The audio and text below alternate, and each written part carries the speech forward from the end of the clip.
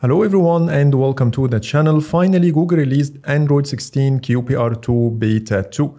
I will show you all the new features on the Pixel 10 Pro XL. So without further ado, let's jump in.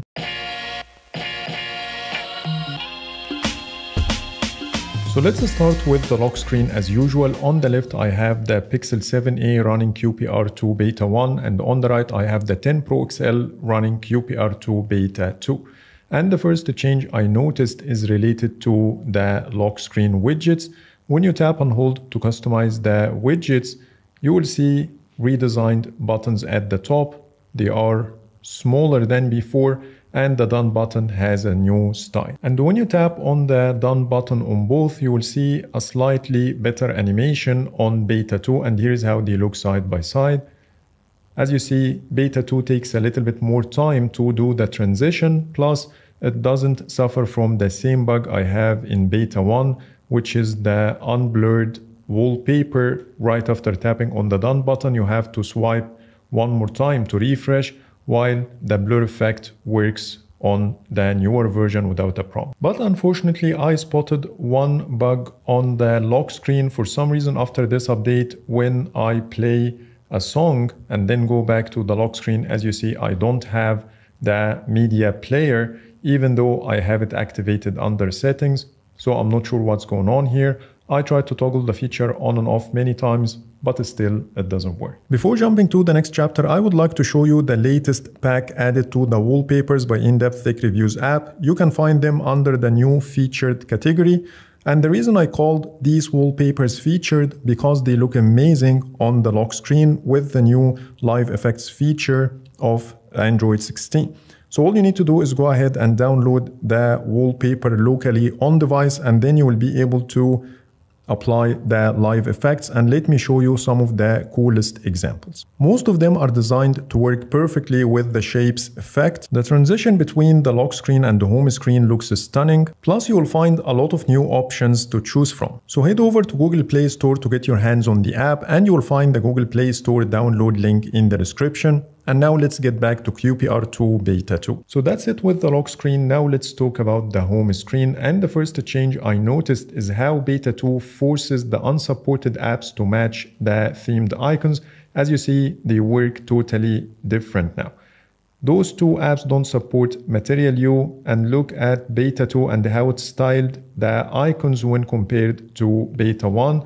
There is a massive difference between the two Honestly, I like the previous design better as it matches the colors, while this one is a bit darker and looks out of place in my opinion. So I prefer if Google can return back to beta 1 design. The second change is the ability to change the home screen icon shapes and you can achieve this by going to the wallpaper and the style app, then scroll down, then go to icons. We no longer have the default manual and the create options as before but we are back again to the same themed icons toggle and we have five different shapes to choose from and here is how they look one by one. To be honest, I don't like any of them and they look childish to me. I prefer if Google can think of something more creative. And the last change in the home screen is how the Google search widget now gets styled when I choose the exact same color palette and wallpaper on both devices. As you see here, all the app icons are exactly the same and I have the same exact color palette over here. But the Google search widget is picking a different color which is more vibrant. Let me try another one. So here is a different palette. And as you see, the color in the Google search widget looks totally different now, even though I'm using the same exact color palette on both devices. Now let me show you the most exciting change in this update, which is live activities. I think we got the final version with this update and the only app that I managed to get it up and running with is Google Maps. So let me show you how they look side by side. When you start the navigation on both devices and then go back to the home screen and then dismiss the picture in picture window, you will notice here at the top that I have a chip. When I tap on it, this is how the live activities look. And also when I go to my lock screen, now I can see it on the lock screen as you see here, which wasn't the case before. I, mean, I still have the old notification here, while now I can see my progress. Also, when the phone switches to the always on display, I still can see my live activities, which is a really nice touch. I also found that the chip at the top left corner will show you the next turn or any update when anything happens in Google Maps, but unfortunately I'm not gonna be able to show you this on camera because it doesn't update. But for example, if you have a turn after 170 meters, you can see it right here in the chip, which is something new to this feature as well. And here's a quick example on how the update looks. It says 70 meters and then turn left.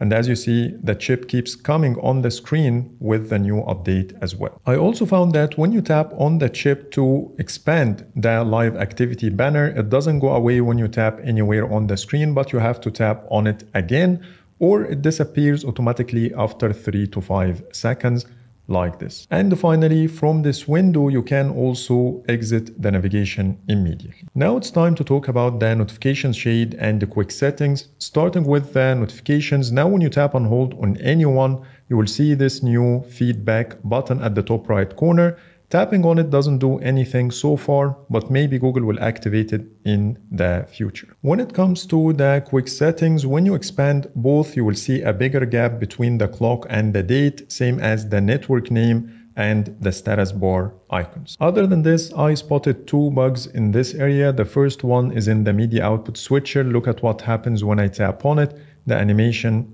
is broken and also I expand the quick settings, the media controls are not aligned. Now it's time to talk about the settings, which includes the rest of the new changes. So let's see what we've got. Starting with network and the internet and then SIMs. When you tap on add SIM on both, you will see a totally different page design. Everything is now centered and the buttons are bigger.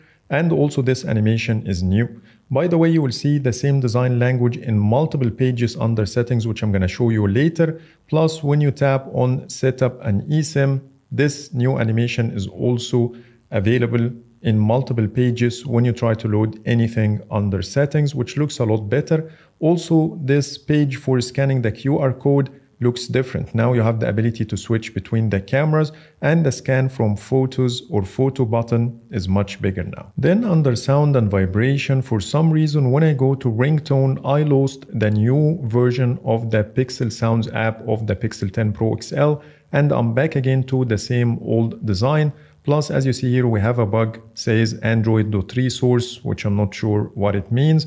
But when you try to choose a different sound, and then go back to ringtone, it will work back again. Another place where you can see an updated loading page similar to the one under the network and the internet. When you go to software updates and then go to the software update page, as you see the loading animation looks different with the same bold font and everything is now centered with a bigger button. And the same applies to the Google Play System Update page. It also got the same new design where everything is now centered and a bolder font, bigger button. Moving to security and the privacy here, you will see a lot of design tweaks. The first one is the Material 3 Expressive redesign, which we already got in the past, but for some reason it disappeared. And now it's back again with QPR2 Beta 2. Not only this, but when you go inside any of these pages, you will see an updated graphical representation that now supports the Material You colors. It adapts based on the colors you choose under your wallpaper and the style app. Another system-wide change is when you try to do anything that requires your PIN code, the text box got updated and now it has a border around it with a title as well that didn't exist before. And when you go to privacy controls and then go to health connect, you will see a brand new menu here called devices and it says manage your connected devices which didn't exist before. When you go inside you can choose your current device to count the steps and save this data to health connect not only from your watch and here you can see the rest of devices you can add to the list if you want. Back to the main security and the privacy page, when you go to private space, you will see a redesigned wizard with bigger buttons, but unfortunately all the buttons are in blue color even though we have the Material You support in the previous version, so I'm not sure what's going on here. Plus we got the new loading page I already showed you in other places. And when you continue with the wizard, you will see more bigger buttons. As you see here, we have much bigger skip and next buttons. And the same applies to the rest of the wizard. As you see, everything is now bigger. So that's it with the security and the privacy. Now let's go to passwords, passkeys, and accounts. When you go to your current autofill account and then go to preferences, you will see one more toggle that didn't exist before called verify before filling passwords. One more change I spotted only on the Pixel 10, which is the new device health and support menu. I already got this menu on the stable version, but when I go to it now after updating to QPR2 Beta 2, I see some differences. As you see, it will do all the checks and then tell you the status, but when you scroll down, I think those two options are new to QPR2 Beta 2. And when you go to charging diagnostics, it will download something when you use it for the first time and then take you through a wizard to check if you have any charging issues. It will do all the needed checks automatically and then tell you that everything is okay and giving you some suggestions to do later. And once you are done with the wizard, it will ask you either even more questions, try another charger and so on and so forth. So this is how it works and you can exit at any time. You have the same thing for the touch and here how you can use it as well. So now it's time to talk about my experience with this build while filming the video. When it comes to performance, it's okay, the phone is still responsive, no issues, but when it comes to the UI, there are a lot of glitches and visual issues that I came across while filming the video, and I showed you some of them in the previous chapters.